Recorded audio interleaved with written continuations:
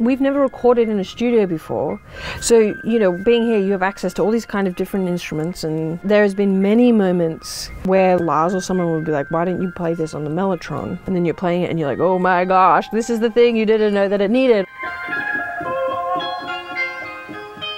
Always love this for some reason. I love that. Yeah.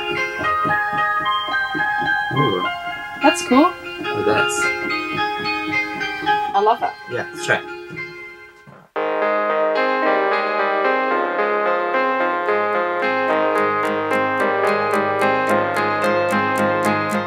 Well, I'm Hannah Joy, My name's Tim. I'm Harry from Middle Kids. I'm in the band Middle Kids and we are recording our second album. with Lars Stalfors. Harry, Tim, and I, you know, we work mainly because we really value each other first before the music. Because it is quite funny that we all work together because we're very, very different. Musically, Hannah, she's like a pure artist. She will like play piano and she'll start crying because she's feeling the emotions of whatever it is that's happening in the music. And that's like a very beautiful thing. And I think that's why the songs come through her. That's good. We needed a little hook. so good. So good. So like almost weird. I love this bit.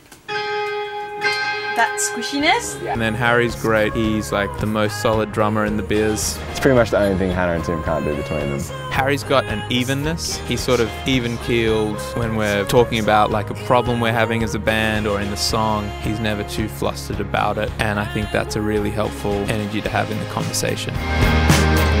Tim has such a global way of like thinking about music. As soon as he hears a song, he'll kind of start thinking about what it could be and, and then he'll kind of start exploring that. He's like a little song machine. And I like insert it into the song machine, then I leave, and then he kind of works on it. He will um, bring a lot of life to them in terms of instrumentation and groove. Like he's got a very strong creative sense of feel and rhythm and color, and he just like splashes it all over the song. Anytime I press a button on this machine, it doesn't do anything. Oh, that's nice already. Before you're done, Yep. can you give me a chugga chugga chugga? Oh yeah.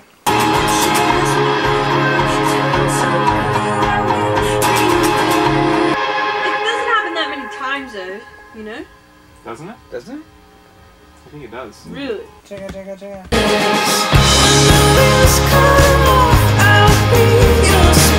The way this album has come together has been a lot more intentional and for me a lot more thoughtful and it's actually a lot more emotional than I have ever written. Songs for me have always been kind of helping me understand myself and the way I see the world. I remember so clearly like when I was like 17 writing in my journal I want to make music that loves its listener. I really want people to hear the music and to feel a sense of love. And when I say love, uh, it can be challenging and intense and like tough, but it's like it's it's in the guts.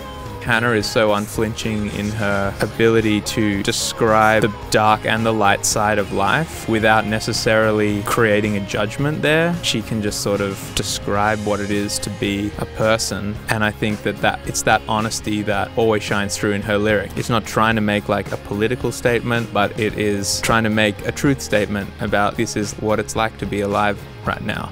And that's the kind of music that I usually gravitate towards. When the wheels come off, I'll be your spare. When the party's over, I'll be stacking the chairs. When the world turns on you, I will be there. And I will be there. Chugga chugga chugga.